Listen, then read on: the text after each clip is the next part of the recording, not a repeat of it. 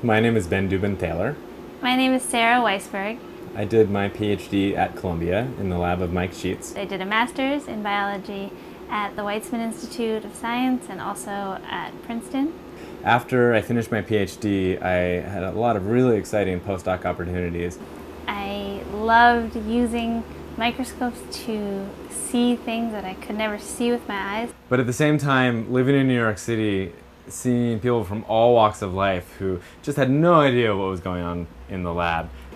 Is it possible to make that level of science, that level of cell biology, is it possible to make it interesting to anyone?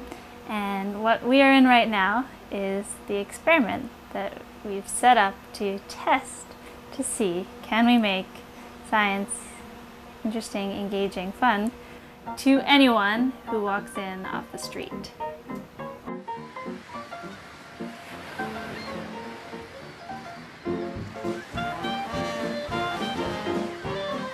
Well, here we are outside the BioBus, and before we were able to run our experiment, have people come on the bus and do experiments, we needed to figure out how to solve a couple of problems.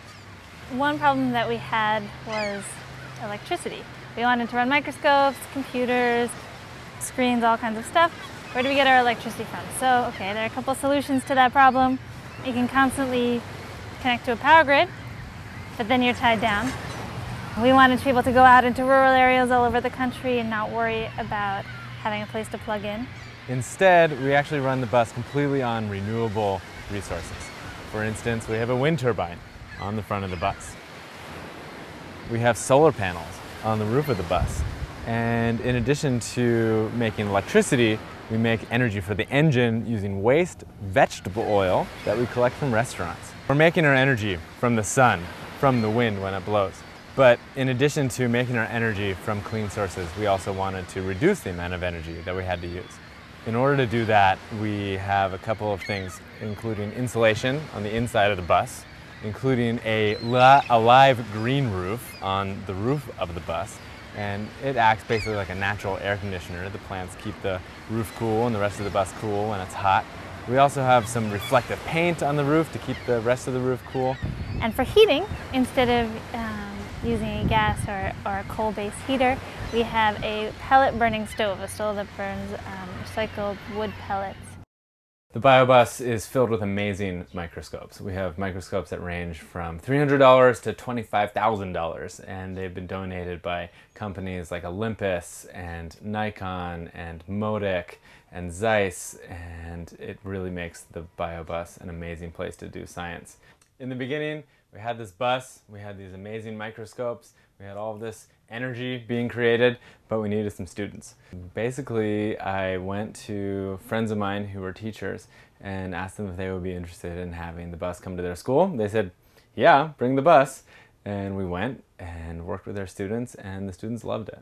Word of mouth spread. Other teachers started learning about us and now we have hundreds of teachers that we visit every year that um, are starting to work the BioBus into their regular curriculum.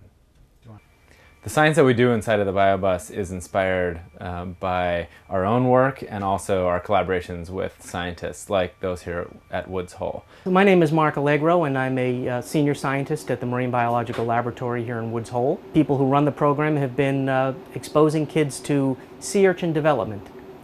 And this is a great example of uh, kids having the opportunity to get hands-on experience and experience firsthand excitement uh, with biological materials.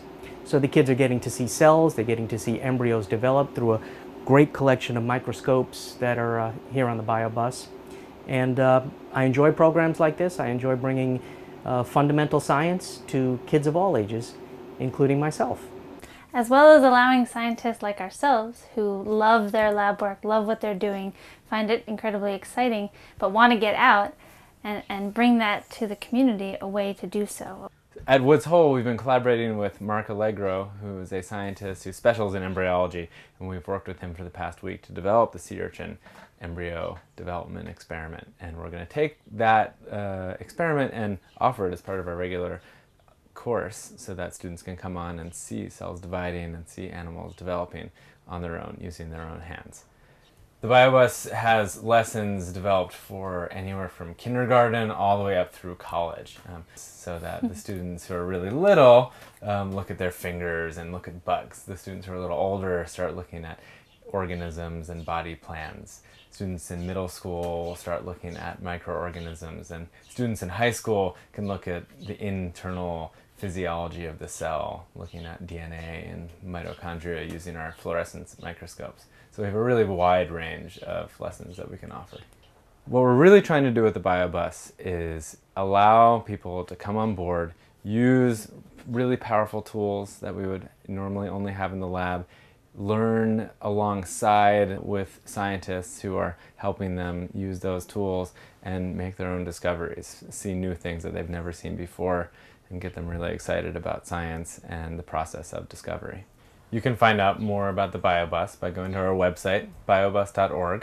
You can learn about our upcoming public events and also how to invite the BioBus to come to your school, as well as learning about how to volunteer on the BioBus. And lastly, I hope that we've managed to convince you that you can get anybody excited about what you are doing. Um, just make it relevant, make it real, make it fun, and it'll be cool.